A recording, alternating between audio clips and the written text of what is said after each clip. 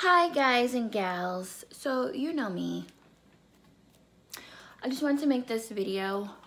I'm having like the worst tooth pain ever. Um,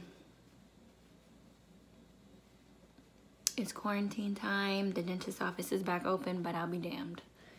But I want to make this quick video to review my air fryer. Now I already cooked something in my air fryer, so I'm just gonna have to um attach that to the end because y'all know I be forgetting to do reviews, but someone just reminded me of YouTube. So I'm like, let me do a review.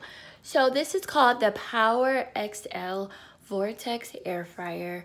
And I don't know if it's, it's either 8 or 10 quarts. I can't remember. I got it on Target.com. Came to my house on Tuesday. Today is Thursday. And I finally cooked some potato wedges in it. And it took about 40 minutes to do that and they were delicious. So this is it. Y'all know I have an iPhone. Apple, honey, y'all need to, um, y'all need to let us flip our screens.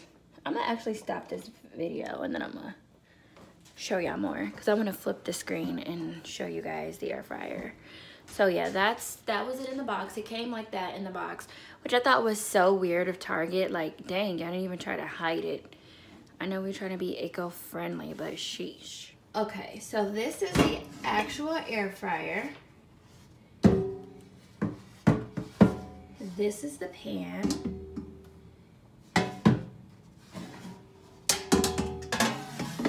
I wiped it down because I cooked already with it.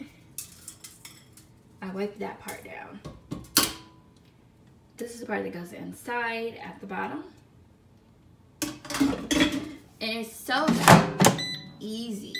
And look how, it's just so cool. So this is to turn it on. And it has all these different switches that I don't know anything about yet. And I guess it defaults to 15 minutes.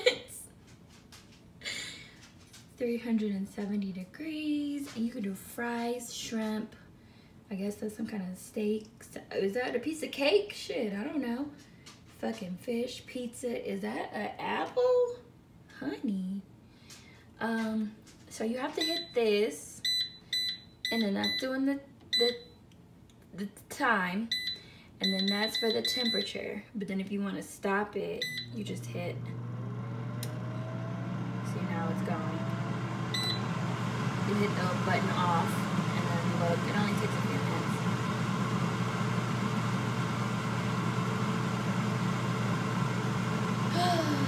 well, it's turning off. Let me hit it again. Because it didn't take that long to turn off last time. But I still, yeah, see? Turns off pretty quickly. It was making that loud noise. We got it. It was making that loud noise when it was just preheating. But when I was cooking with it, it was not loud at all. Like everybody was saying, I'm just gonna unplug it. Everyone was saying online that like, oh my God, it's so loud. It was, it was not loud at all when I was making something. So the next time that I make something else, maybe next week or something, I'll make another video. But yeah, this is a really good air fryer. Look how big that is. You could probably put a whole chicken in there. So yeah, I like it. Anyways, thanks for watching my video. Subscribe and give me the thumbs up, darling.